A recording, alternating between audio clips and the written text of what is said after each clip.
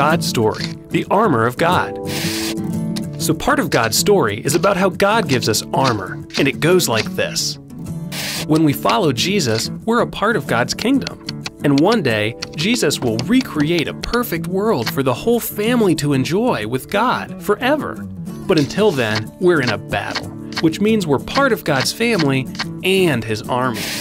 See, God's enemy, we call him the devil or Satan, has a kingdom too, and he has his own army devoted to tricking us into believing that we can't trust God, or that God doesn't really love us, or worse, that God's love isn't good enough.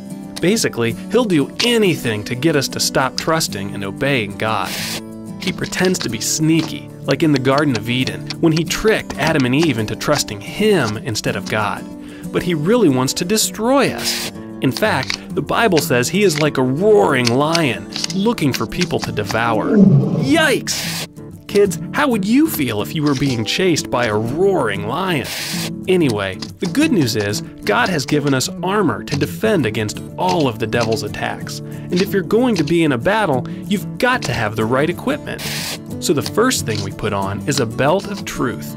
That's because Satan is the father of lies. But when we choose to believe the truth that Jesus rescued us and God loves us, it's like we're wearing devil repellent, so the devil's lies can't get through to us. We also get a breastplate of righteousness. Being righteous means always making right choices. Of course, nobody has done that except Jesus. But see, Jesus took the punishment for our bad choices. So when we choose to accept his rescue, God sees our sins as gone, which means to him, we are righteous. Satan means the accuser, and he loves to make us feel guilty. But we can defend ourselves by remembering how God sees us. Then come your feet. God covers them with what we need to go and tell people the good news about Jesus, kind of like boots. When more and more people believe in Jesus, the devil can't stand it because God's army and his kingdom are both getting bigger. We don't go into battle empty handed either. We get a shield and a sword. Our shield is faith to block the devil's lies. Worried God won't take care of you? Nope. God promises to give us what we need. Worried God doesn't really love you? Nope.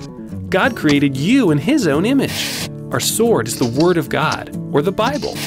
Finally, we get a helmet of salvation, which helps us remember in our heads that Jesus rescued us. We are a part of God's family, and nothing can separate us from His love. That's right, nothing. And the best part? We're on the side that wins. So no matter how hard the devil tries to drag us over to his side, he won't be able to. God helps us stand strong and gives us armor we can use in the fight. And that's the story of the armor of God. So, in case you missed it, here's the quick version. We're in a battle, God has an enemy. God gives us armor a belt of truth, a breastplate of righteousness, good news boots, a shield of faith, the sword of the Spirit, and a helmet of salvation. We're on the winning side. So let's put on this armor and fight. And that's a part of God's story.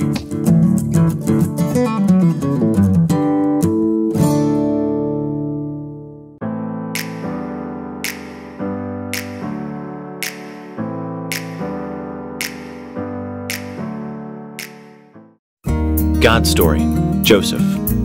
So, part of God's story is about a guy named Joseph, and it begins like this Once there was a guy named Joseph who had 10 older brothers and one younger one. When Joe was a boy, he was his dad's favorite.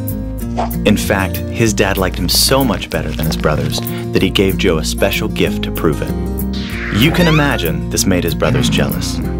And Joe only made things worse. He told his brothers about dreams he had where he was ruling over them. Well, this made Joe's brothers furious. One day they were working and saw Joe coming. They said, Here comes that dreamer. They threw Joe into a dark pit. They might have left him there forever, but they met some men traveling from Egypt and sold Joe to them as a servant instead. They thought that was slightly nicer than leaving him in a pit. Then they went home and told their father Joe had been killed by a wild animal. This broke their dad's heart. Kids, these brothers were really bad news. Selling a sibling is never a good idea. Ever. But the Bible says the Lord was with Joe. When Joe was a servant, he worked for a really important rich guy named Potiphar. And Potiphar liked Joe so much, he put him in charge of the whole house. Joe was happy until one day he was blamed for something he didn't do, and Potiphar sent him straight to jail. Well, God was still with Joe, even in prison. The guard decided he liked Joe so much, he put him in charge of all the other prisoners. Then God gave Joe special knowledge about dreams. When two prisoners had dreams, Joe knew what they meant, so he told them. Two years later, Egypt's ruler called Pharaoh had a dream, and nobody knew what it meant. But by now, one of the two prisoners Joe had helped was out of jail and working for Pharaoh. He told Pharaoh about Joe, and God helped Joe figure out what Pharaoh's dream meant. But Pharaoh's dream was really more of a nightmare. It meant that everybody in Egypt would have food for seven years, then be hungry for seven years. Joe told Pharaoh the only way to survive was to store food during the seven good years. Well, Pharaoh thought Joe's idea was brilliant. He put him in charge. During the seven hungry years, nobody could eat without getting food from Joe. He was like a human vending machine. Well, remember how Joe had 11 brothers? Like everybody else, they had to get food from Joe. And when they came, they didn't even recognize their brother. But Joe knew who they were. He secretly tested them to see if they changed. After all, they did throw him in a pit and sell him. Finally, he couldn't hide who he was from his brothers anymore. He told everyone to leave the room because he was about to cry. After sobbing for a few minutes, he told them, I'm your brother Joseph. I'm the one you sold. The brothers couldn't believe it. They had hurt Joe, but God had taken care of him during the good times and the bad. Even with everything they had done to Joe, he forgave them because he was willing to follow God even when it was hard. Joe told them, You planned to harm me, but God planned it for good. And God used Joe to save many lives, including the family that was part of God's special rescue plan. And that's the story of Joseph. So, in case you missed it, here's the quick version. Joe was his dad's favorite. His brothers sold him. Potiphar put Joe in charge. Joe was sent to jail. The guard put Joe in charge. Pharaoh had a bad dream. Joe told him what it meant. Pharaoh put Joe in charge.